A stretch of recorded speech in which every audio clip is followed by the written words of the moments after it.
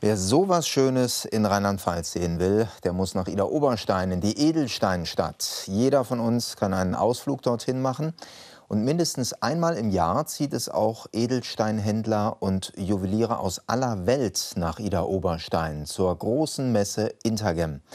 In Corona-Zeiten ist auch dort vieles anders, aber es glitzert und es ist teuer wie eh und je. Mehr von Jochen Voss. Eineinhalb Millionen Euro kostet dieser kleine Stein. Der Paraiba Turmalin zählt zu den begehrtesten Edelsteinen weltweit. Er kommt aus einer Mine in Mosambik. In Ida Oberstein wurde er geschliffen. Goldschmied Guido Stroh aus Koblenz ist auf der Suche nach besonderen Steinen. Einen Tag ist er auf der Messe Intergem unterwegs, um die Steine auch tatsächlich mal in der Hand zu haben. Es ist immer wieder was anderes, wenn man die Steine live sieht, als wenn man sie auf dem Foto sieht. Und man muss sich von der Qualität überzeugen.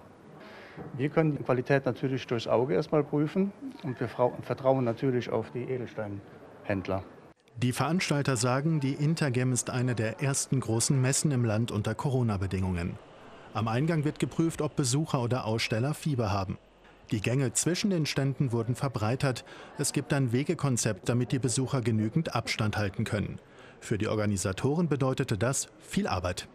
Das war sehr schwierig. Ja, also bis zur letzten Minute die Veränderung äh, der Corona-Verordnung, ähm, das dann ständig zu korrigieren, die Aufplanung, äh, das war schon erheblich schwieriger als sonst. Schlussendlich braucht man eine Genehmigung, das war schon ein erheblicher Druck, ja.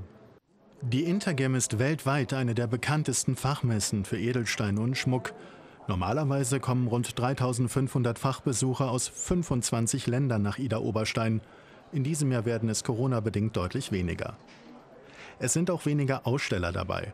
Rund 60, im vergangenen Jahr waren es mehr als doppelt so viele. Die meisten kommen dieses Mal aus Deutschland und nicht aus aller Welt. Goldschmied Guido Stroh will auf der Messe einen speziellen grünen Stein kaufen, den er für ein Schmuckstück braucht. Er ist froh, dass die Messe trotz Corona stattfindet. Das ist sehr wichtig. Durch die Corona-Zeit hat die Schmuckbranche natürlich auch gelitten und die Kontakte konnten nicht gepflegt werden.